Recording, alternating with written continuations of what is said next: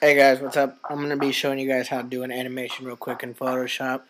I've only animated two letters because uh, I just want to show you guys the basic concept of animating. Um, this is kind of what you see. See how the letter N and V just keep going back and forth. I only have two layers and two frames. Alright, so let me start this and start a new project and work from the beginning with you guys.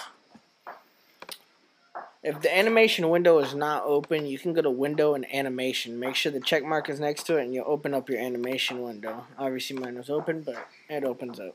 I'm going to go ahead and start a basic Photoshop size so you guys can have a big area here. Alright. Put NV.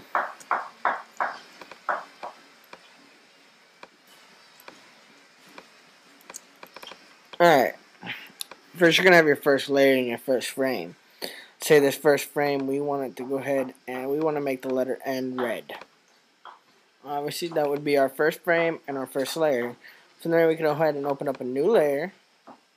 Go ahead and hit Control J or Command J on this layer and make a new one. Shut off the first layer.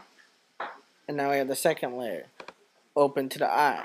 Go ahead and make that black.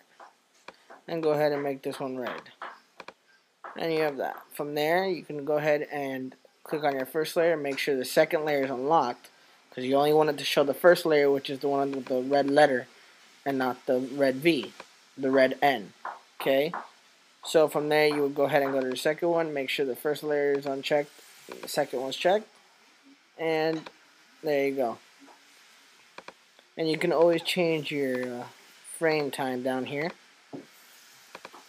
There you go and you have your animated GIF or whatever you'd like to say it is.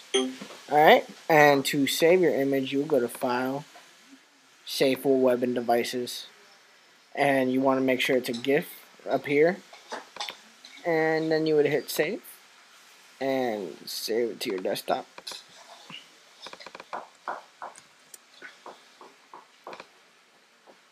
And if we were to go to the desktop, find this, go ahead and open with. Firefox should be. There you go. There's your animated GIF. Simple as that. If you guys have any questions, uh, sure to let me know. Later, guys.